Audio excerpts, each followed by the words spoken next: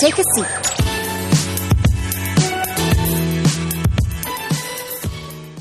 According to a recent World Bank calculation, 70% of world growth is coming from Asia.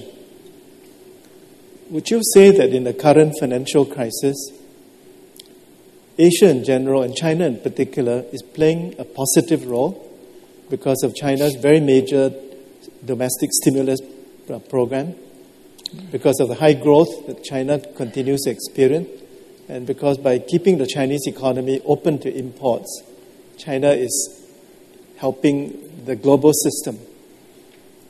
Yes, but you must remember the, the volumes. China's GDP is 3.3 trillion. America's GDP is 15 trillion. So it's uh, five to one, you know. So uh, China hasn't got the same reach throughout the whole world. Her banks, her, her multinationals are not throughout the whole world.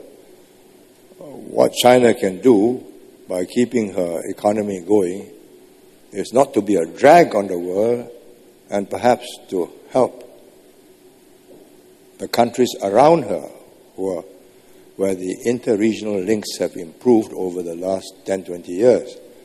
So Korea, Japan, Taiwan, ASEAN, maybe even India.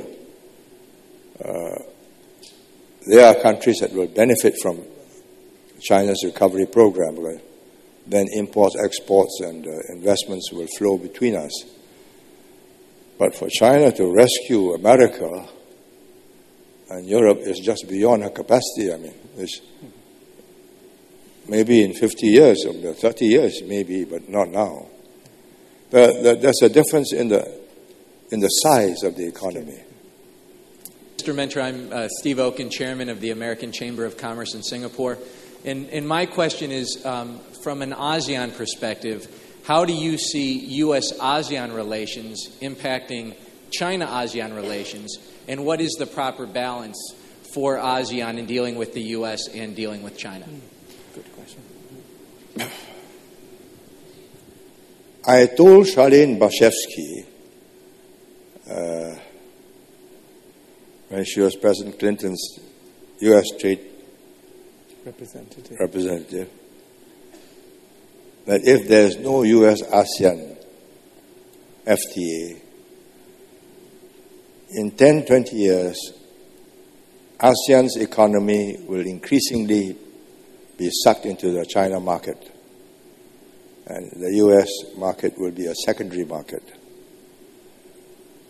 In the end, she moved and she persuaded Clinton to have a Singapore US FTA as the benchmark for other ASEAN countries to join in the FTA. So Malaysia started, Thailand started, but never completed.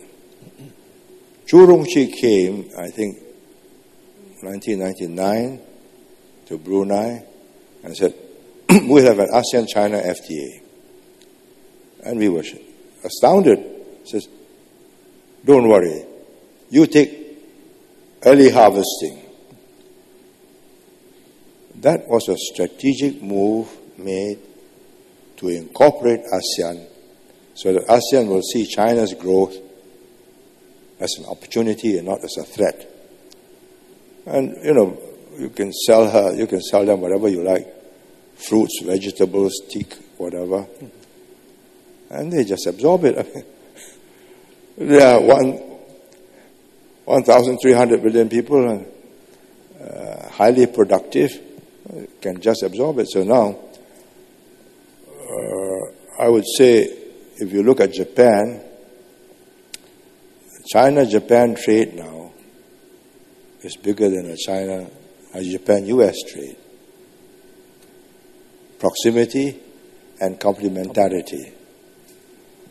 So I believe the US have a lot of ground to catch up.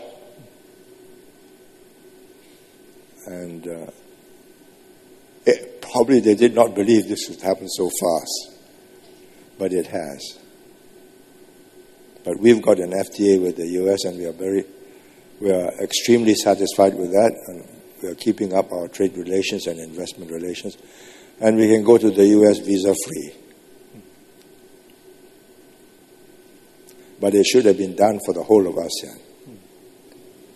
In, in your memoirs, you wrote that you hope the China of the future will be a China that is modern, self confident, and responsible. If, if we use those three criteria of modernity, self confidence, and responsibility, how would you assess China's current role in the world? Well, she is not yet modern. I mean, the few cities are. Beijing, Shanghai, uh, Dalian, coastal cities are more modern, but it's not a modern country. I mean, uh, it will take another 20, 30 years to bring the other cities up to a similar standard. Uh, self confidence, yes, I think they are increasingly self confident. I mean, they know they, barring accidents, they will make it, and they can make it. Uh, in fact, sometimes I think there's a little overconfidence. Uh, I, I think the danger is they can feel a little overconfident. Because between the Beijing Olympics, which was a presentation, and the real substance of the capabilities of the country, that's a, there's still a gap to be filled. And that gap may take many years to fill up. I mean, uh, it's, it's across the board to catch up with America, Europe, and Japan in all fields. It will take a few decades. Uh, responsible. I think the, so far in this financial crisis, they have acted in a very sober way. They've uh, lent